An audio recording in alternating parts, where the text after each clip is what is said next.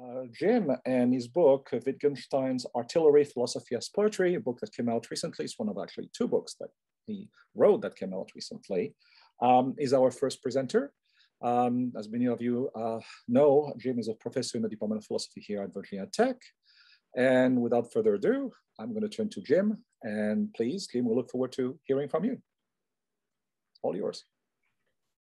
Thank you, Francois. And uh, I appreciate still being considered an ASPECT author. It's been several years since I taught uh, in the ASPECT program. I did twice co-teach uh, uh in ASPECT seminars, but uh, and my interests continue to uh, sometimes lie in that direction. And so of the two books that I recently published, the, the one I want to talk about today seemed the most relevant, the title being Wittgenstein's Artillery and then subtitled Philosophy as Poetry. And the juxtaposition of those two, uh, the title and the subtitle might seem kind of jarring. So I wanted to say a little bit about that. Uh, Wittgenstein actually functioned as a, uh, an artillery spotter during World War One. Um, it's kind of surprising that he fought in the war at all because uh, his father, who had died uh, just a year previously, uh, was enormously wealthy and left all the children uh, basically millionaires, multimillionaires. And um, Wittgenstein, in fact, had uh, had a hernia, which would have gotten him out of military service. So he wouldn't have had to serve in the military probably, but uh, he volunteered actually, which uh, without revealing his uh, medical condition or his uh, wealth, and that got him uh, basically in at the bottom. Uh, but he wanted to, to fight. He, he volunteered. He saw it as a sort of trial by fire. Um, and being an artillery spotter is pretty a dangerous posting, and yet Wittgenstein won three medals for for bravery in the in the course of his service. The uh, the the book itself, the the uh, the cover photograph uh, is of uh, some artillery spotters, not actually Wittgenstein. That there's no picture of him uh, working in that way. But um, not only did he uh, serve as a spotter through several years of the war, but he also used his wealth to uh, a good effect. He donated actually about $2.8 million to have uh, to buy a mortar, a, a, a 30.5 uh, cm uh, Škoda M16 mortar. Uh, and he, I think the timing of it was because this was the had a prospect of having a more accurate, longer, uh, more easily fired piece of artillery. So he came to care very much about uh, not only his job, but how it could be done better. Um, uh, he can he wrote um, basically his Tractatus, his first uh, famous book, while he was in the trenches in World War One, and uh, we have notebooks that he kept uh, of his sort of day-to-day activities while he was working on the book and while he was he was fighting. And interestingly, he used military metaphors uh, in uh, about his own work. He said things like, I'm laying siege to my problems right now. Uh, and he said, I worked all day, have desperately stormed the problem, but I will sooner leave my blood before this fortress than depart empty handed. So he liked the, the, the, military metaphors. And so I've used Wittgenstein's wartime experience as a metaphor for, for his, uh, his own imaginative attempts to influence his students and his readers uh, and their take on philosophical issues. So uh, I refer to Wittgenstein's philosophical methods as his artillery. Uh, and so uh, as I use that metaphor in this way. And in fact, one of his students, Elizabeth Anscombe, um, referred to Wittgenstein's methods. Uh, he, she referred to it once as his heavy artillery and once as uh, his heavy, heavy machinery of demolition. So um, I, I, think it's a, an, an, apt metaphor uh, that uh, connects his own experiences with his philosophical work. The subtitle, though, of Philosophy as Poetry, then, um, Wittgenstein said uh, uh, in, in his later thinking, in his later work, what he uh, said a number of things about what he was trying to get at, what he was trying to accomplish in his philosophical writing and lecturing. And he said things like, I don't try to make you believe something you don't believe, but to try to make you do something you won't do. and he said, uh, he talked about the difficulty of philosophy being a difficulty of a change of attitude. He said, resistances of the will must be overcome. And he talked about uh, his work sometimes as trying to bring about a, a as, as dealing with a, what he called a matter of temperament or prejudices of thought. Um, and uh, one passage that I talk about a few times in the book, he says, one must start out with error and convert it to truth. One must reveal the source of error, otherwise, hearing the truth won't do any good. The truth cannot force its way in when something else is occupying its place. To convince someone of the truth is it, it is not enough to state it, but rather we must find the path from error to truth. So that's interesting that he conceives his task like that because he hadn't always thought of his task that way. If you look back at the Tractatus, his early book, uh, it's really just a series of pronouncements. He sort of lays it out there, and you know, if you understand it, fine. If you don't, uh, fine. That wasn't his problem.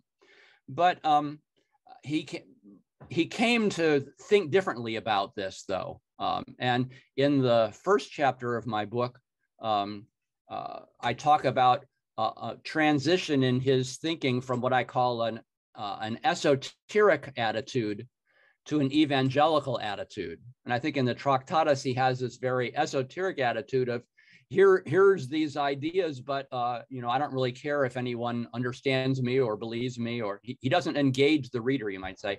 And then he moves uh, uh, to a, a more, uh, I'm calling evangelical attitude, where he's trying to engage the reader, trying to find what it, what might prevent the reader from coming to see things the way he sees them.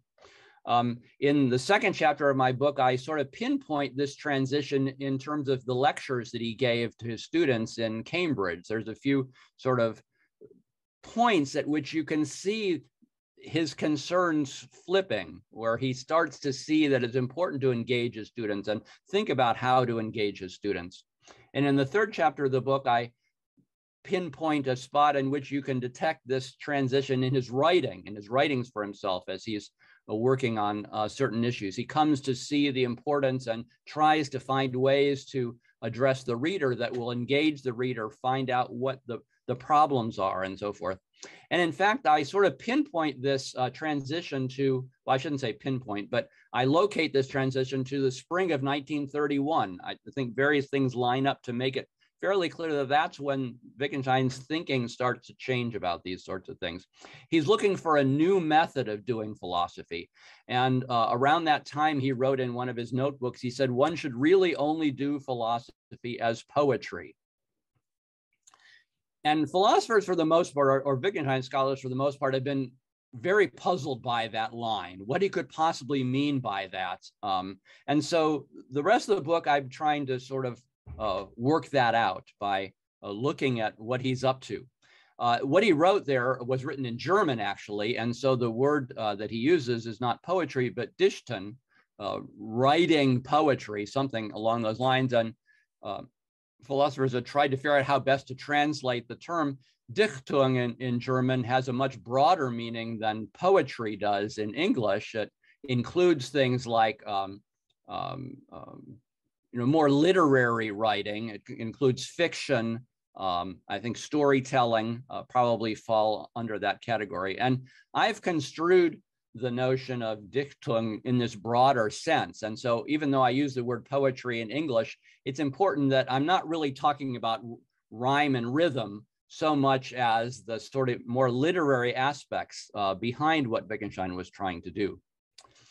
Well, in, uh, before this book, the last book I published was, uh, or last major book was Wittgenstein in Exile in 2011. And for some reason that I can't uh, completely reconstruct, Tom Gardner and I traded books. He had just post, uh, published a book, uh, John Among, um, what is it, um, In the Company of the Poets, and my book, Wittgenstein in Exile. And we traded books and read them and discussed them. And Tom started talking about how he thinks about poetry, how he teaches poetry. And he, in fact, shared with me some of the material that he uses in uh, working with his students. And it started to resonate with me that what Tom was trying to do was really what Wittgenstein wanted to be able to do. uh, Tom wrote things like a poem does not just speak from a position of arrival, but it dramatizes the act of getting there so that a poem enables the reader to reenact that movement. And that really, I think, is what Wittgenstein was looking for. And so that helped me sort of try to think in a different way about what Wittgenstein was up to. And he, Wittgenstein often used this phrase, movements of thought, and he was interested in trying to see how we could change people's movements of thought. Um, and so, uh, even though what I'm talking about uh, uh, isn't poetry per se, it's something very different from the pronouncements that Wittgenstein made in the Tractatus to uh, using something different. Uh, and he talks, he uses vignettes he uh, speaks in aphorisms. He offers thought experiments, narratives, parables, uh, comparisons. And so I think all of these things are sort of what, what I'm grouping together under the, the English label of poetry. In general, he's trying to figure out how to address non-cognitive issues. I think that's maybe uh, one way to uh, sort of label what Wittgenstein was trying to do in his later thought is to try to affect how we think about things. He's often said it's a matter of the will and I'm calling these uh, sort of non-cognitive. Well, Wittgenstein himself occasionally did refer to his writings as his poems. And so I think that gives us or gives me some permission to use that term in this broader sense. Um, but uh, if, you if you're familiar with the Philosophical Investigations, which is his uh, later book, um, it often reads as a kind of dialogue uh, between him and the reader. Uh, I think it has its source actually in the classroom, I, and I tra trace that in the second chapter of how Wittgenstein um, interacted with his students. He tries to recreate that sort of interaction in, in the philosophical investigations. Sometimes the other person, this person he's speaking with is put in quotation marks, sometimes between dashes, or sometimes you just have to you know, sort of get a sense of when the other person is speaking. But Wittgenstein often says things like, you might say, or people have often thought such and such. So it creates that kind of uh, sort of hypothetical dialogue. So then um, I consider 15 of what I might call Wittgenstein's poems uh, uh, specifically. And um, oftentimes they're just short kind of aphorisms or, or things like that. But what I do then is for each one of those, I try to find some poems in, uh, in others from other sources, uh, stories, narratives, parables, things that seem to be doing the same kind of thing that Wittgenstein was trying to do. So I'm, I'm trying to set him in a broader context. I'm trying to look at how what he was doing might be done by other people, sometimes better, but I'm not really making the point that uh, it could this is better than that, but just that this is doing something similar to what Wittgenstein was trying to do, trying to influence how we think about something. Um, so in, in, these commentaries, I uh, draw on a lot of different literary sources. So a lot of biblical parables, uh, the story of Job in the Old Testament, Plato's dialogues, uh, St. Augustine's confessions, parables from uh, Kierkegaard, uh, stuff from Goethe, Dostoevsky, Tolstoy, Lewis Carroll. Uh, I draw on a couple, a couple things of science fiction from Stanislav Lem and uh, Ted Chiang, uh, and even children's literature, some from The Little Prince and uh, The Phantom Tollbooth. So I don't know if you all are familiar with some of these things, but basically I place Wittgenstein's poems in relationship to this kind of literature, uh, looking for a different way of doing what he was trying to do. Ultimately, Wittgenstein felt like he wasn't successful doing this sort of thing. He said uh, uh, in 1947, so around the time that he was done teaching, Wittgenstein said, quite different, excuse me, Wittgenstein said, quite, or wrote, quite different artillery is needed here from anything I'm in a position to muster. I think what he was saying was he didn't feel like he was very good at doing these kinds of things. And so the book is also my attempt to see, well, how might he have done better? Not claiming I'm better than Wittgenstein, but you know, how might we try and advance what Wittgenstein was trying to do, but felt um, like he hadn't done very well. So in the last chapter, one of the things I do is I uh, offer a reading of uh, uh, Plato's Phaedo as poetry in the sense of what Wittgenstein is trying to accomplish, to, to see how another philosopher might have done that.